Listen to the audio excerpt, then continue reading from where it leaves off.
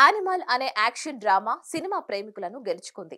ఒక వర్గం ప్రేక్షకులు విమర్శకుల నుంచి విమర్శలు ఉన్నప్పటికీ యానిమల్ విజయవంతంగా రన్ అవుతుంది. బాక్స్ ఆఫీస్ వద్ద అద్భుతమైన కలెక్షన్లను సాధిస్తుంది.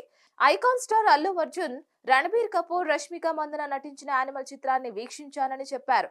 తన సమీక్షను పంచుకున్నారు. అల్లు అర్జున్ చాలా సినిమాలపై తన అభిప్రాయాన్ని చెప్పారు. కానీ ఈ సినిమాపై మాత్రం చాలా పెద్ద రివ్యూ రాయడం విశేషం. భారతీయ సినిమాల్లో క్లాసిక్ మూవీ ఇది అని చెప్పడం అందరి దృష్టి ఆకర్షించింది.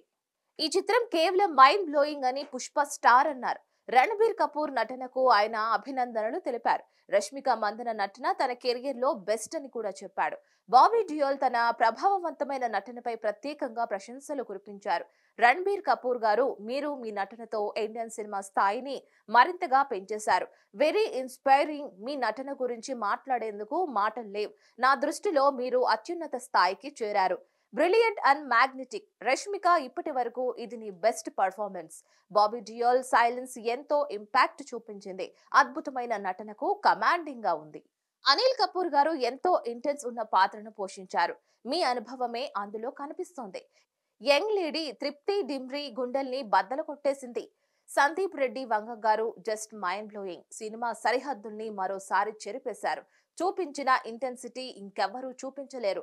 నువ్వు మళ్ళీ మమ్మల్ని గర్వంగా ఫీల్ అయ్యేలా చేశావు నువ్వు తీసే సినిమాలు ఇండియన్ ఫిల్మ్ హిస్టరీని ఎలా మార్చబోతున్నాయి అనే అర్థం అవుతుంది. ఇండియన్ సినిమాల్లోని క్లాసిక్ లిస్టులో యానిమల్ చేరుతుంది అంటూ ట్వీట్ చేశారు. మరిన్ని అప్డేట్స్ కోసం please like share and subscribe to Hit TV.